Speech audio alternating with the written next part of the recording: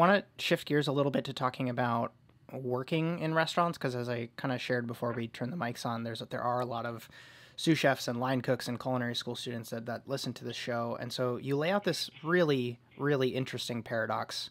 Quote: When cooks complain of the monotony of their tasks, chefs remind them that while they are they aspire to artistry, they are, for now, skilled tradespeople who should take pride in perfection and pleasure in repetition.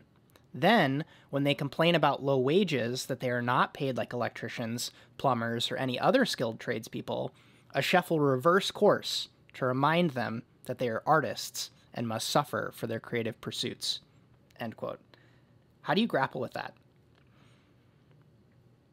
I mean, the way that I grappled with it was to get out of the industry and into another industry. Um, and now to try to have that conversation, both with diners and with workers. And it, it's always uh, difficult in my writing.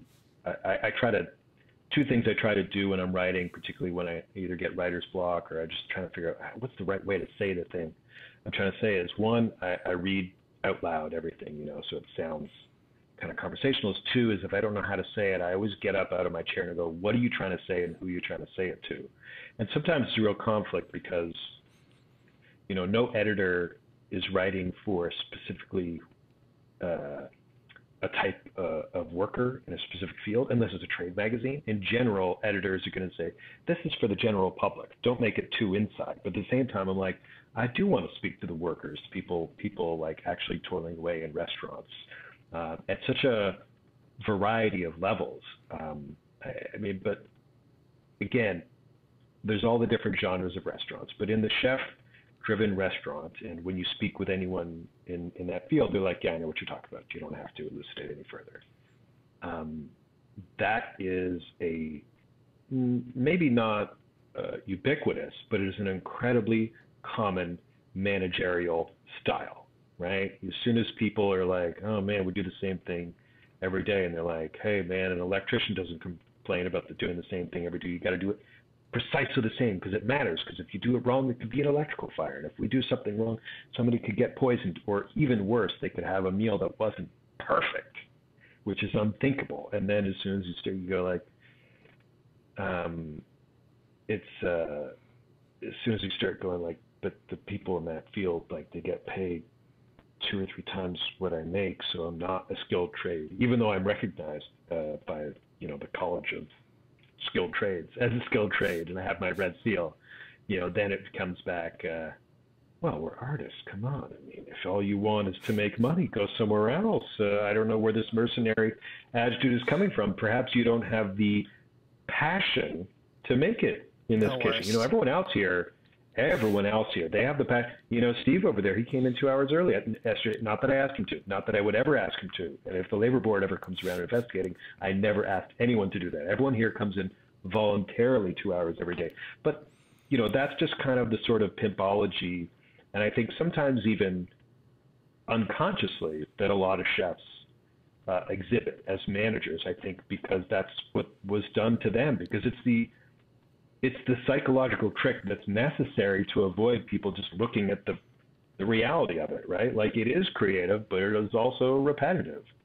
Um, and and you can't really square those two things unless you say the product is worth much more than we've been charging, so let's charge more and then we'll pay more, which is part of what's happening right now, anyways. In you have a, a reference that you kind of touch on and this is talking about working for, um, you know, high temper, high um, strung, we'll call it chefs.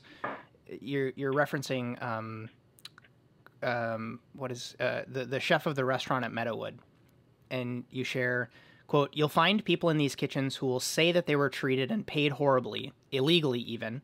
There are just as many who will say that the harsh conditions turned them into who they are today for which they are grateful and then you share that you could say the same. And uh, I'm not quite saying this quote as like a gotcha to you, but because it's something that I grapple with too. Because you know, of uh, of course, the forge that was my restaurant experience made me a really hardened and skilled professional. But would I drop anyone into a single day of my nine years of restaurant experience?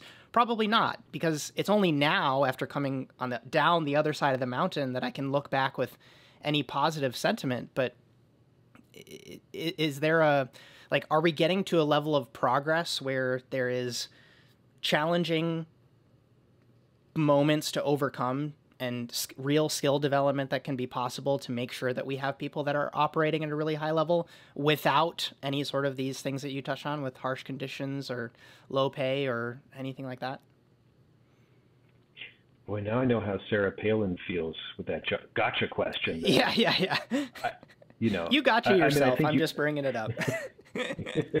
yeah, I mean that was much like the way you phrased it. it for yourself in the book, I was trying to be honest about like, hey, there are two sides to this coin. I don't just want to say staging is a uh, totally unacceptable practice. I would never do it. I don't support it. Uh, on the other hand, I'm like, I, I've done it. I, I would do it if I had the opportunity to do it today in some ways. Obviously, I'm not going to abandon my wife and child so I can go work for two months in Spain. Um, so so one is two things can be true at the same time, right? Like something being contradictory doesn't make it untrue. I heard a good uh, uh, a good a good sort of storytelling uh, uh guideline one time. A, a, good story turns against the way it drives. You know, that's part of what grabs our attention, and sometimes those sometimes those contradictions are what tells us like there's meat on the bone. Like this is worth investigating because it's not black and white. Um, a, a, situation can be exploitative and also benefit you in the long run. Uh, but to answer your actual question, like, is is there some way to make that more equitable? I think that's a that's a key question. And you know, the direction I go, and maybe this makes me unpopular, is uh, simplify the menu. Um, I, think menus are too long, they're too complicated. I think we have uh, the dining class has grown accustomed to a level of luxury, both in uh, cooking uh, and presentation and service, that has only ever truly been achievable through taking advantage of the people making and serving the food. And the alternative to that doesn't have to be everyone, you know, making a pot of soup on Sunday and eating the same gruel all week, um, or drinking um, uh, Soylent, uh, I think there is a slightly stripped down version of a contemporary restaurant that can s- complement both desires. You know, both our desire to go out to feel all the feelings we feel in a restaurant, right? To be satiated, to have something new, to be delighted, to be a little bit pampered by service, uh, to get together with friends, to be flattered by by lighting and music and all these things, uh, while at the same time take care of employees and and I think this is the real key. Not give them more work to do than is possible or reasonable in the time they have to do it. And and as one chef owner put it to me, you know, part of the way to do that is to take your 30 item menu and cut it down to 16, right? And outsource some of those things that you have been too prideful to admit that you don't need to make yourself. You know, you don't need to make your own pickles and bread and butter. You don't, you know, things that result in you having to tell staff, well, if you got to come in two hours early to do it, you know, you just do what you got to do. Uh, you know, I'm just trying to get you up to speed. You know, is the thing the chef says. I just, I just want to give you more to do in a day than you can do right now. So in six months, you're going to be ready for that promotion, right? Because you're going to be tougher and stronger and everything. Instead, I, I you know I think the alternative is to have the, the smaller, more compact menu that people can actually execute in a reasonable amount of time, which again is something we're seeing right now. You know, we started seeing it uh, where I lived for the first uh, 45 years of my life in Ontario. Uh, when there was, we started to see this a few years ago when there was a minimum wage increase, and it was sizable enough that a lot of restaurants started saying like, I, if I'm going to pay more for each hour of labor, I think I need to have fewer hours of labor. So why don't I give people a little less to do? How can I do that? Why don't I cut down my menu a little more?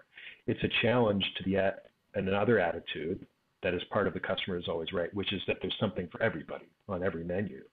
Um, but I think that's that's a reachable challenge. You know, I mean, I think there absolutely should be something for most of us, like whether like when it comes to food restrictions, accommodating people. But the point at which your menu is, you know, 200 items to make sure that everybody has something. And as a result, everyone's running around like chickens with their heads cut off to produce it. Uh, it's unsustainable. What you're effectively advocating for, and this is kind of my last question before we get into some some rapid fire ones. In Seth Godin's words, is changing culture, and that's really hard, right? But, but you lay out the example that we used to have smoking and non-smoking sections in restaurants. That was just part of the culture. Even in hospitals, you you were able to smoke in hospitals or planes. And that's within recent memory, right? So we can all see that culture has changed in a relatively short time frame. So I wanted mm-hmm. to know what you think is valuable or some potential resources that you've seen as great examples to keep in mind when one is thinking about changing culture. Great resources to keep in mind when you're thinking about changing culture. I don't think I have a quick answer to that question uh, or, or, or a pithy answer. I can only say that it's achievable. I think the example of smoking is one that you know we experienced in in our lifetimes, and I reach for that one because I'm old enough to remember when it seemed inconceivable, and when you know so many restaurateurs fought back against that wherever you are in Canada, or the United States, and those rest you know and, and they were aided by the tobacco organization who had a financial interest against that change. And it's not dissimilar now. You know, you've got the uh, the NRA, aka the other NRA or Restaurants Canada, these lobbying organizations that have always fought against the minimum wage um, for their own reasons. Um, but it's changing despite that. Uh, I mean, I think part of what I advocate for in the book is just thinking about these things and having conversations with friends uh, and changing our own personal behavior, but wherever you are, there are grassroots organizations trying to change things uh, for other people.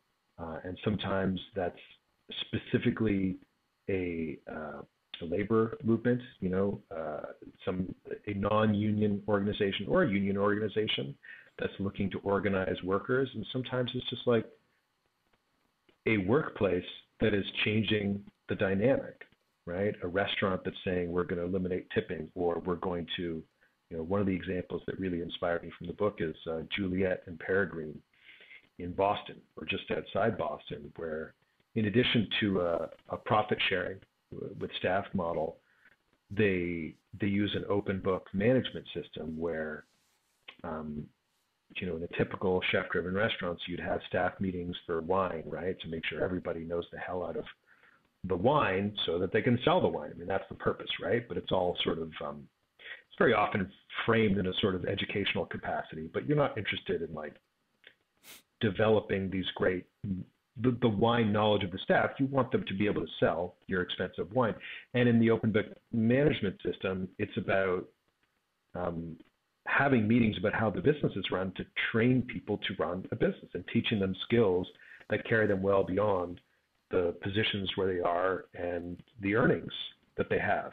Uh, so when you find these kinds of businesses, you know, I think that is uh, hand in hand with the sort of supporting some grassroots labor organization and saying, I'm, I, I want to give these people my money. I want to like find the kind of restaurants I really believe in and devote my dining dollars to them, particularly when, you know, most of us have whether we budget or not, X amount of dollars that we spend eating out. And a lot of people in what I use this phrase a lot, the dining class. I, I think you know what I mean by that, but people who like to eat out a lot and who can afford to eat out a lot. We're very fortunate in that regard. And often that dining class is led by the lists, the top 10 lists, and the top, you know, which are always they're never framed in this way, but they're often the top 10 expensive restaurants. They're the top 10 restaurants that also have a uh, a big publicity uh, budget and or company working for them. So just you know the the old Simpsons uh, uh, advice of just don't look. Um, just ignoring that circus is like the first step and then the second is okay. So if I just like don't allocate my dining dollars dollars to this sort of top ten list restaurant world, well then I can really focus on like, hey, that restaurant that eliminated tipping, or this like family that I got to know who makes this amazing Cambodian food, or whatever the issue is you you want to support. Um, saying like, why don't if we eat out twice a week or we order in twice a week, why wouldn't I keep going back to those people and trying to like cross off my list this scavenger hunt style dining and say, well, I've eaten there and I've eaten there. Yeah, this was okay. That was all right. Like, why not moneyball it and say instead of playing the spread and trying to like have something from everybody, why don't you like why don't I go for like the guaranteed wins? I know this place made us a great meal when we came in. It was a fantastic dining experience. Why wouldn't I go back there? I, I think I've been kind of singing that song for the last five years. Who wouldn't rather go uh, back to a restaurant they already knew was great than a new restaurant, uh, considering the odds of having a good meal at a new restaurant?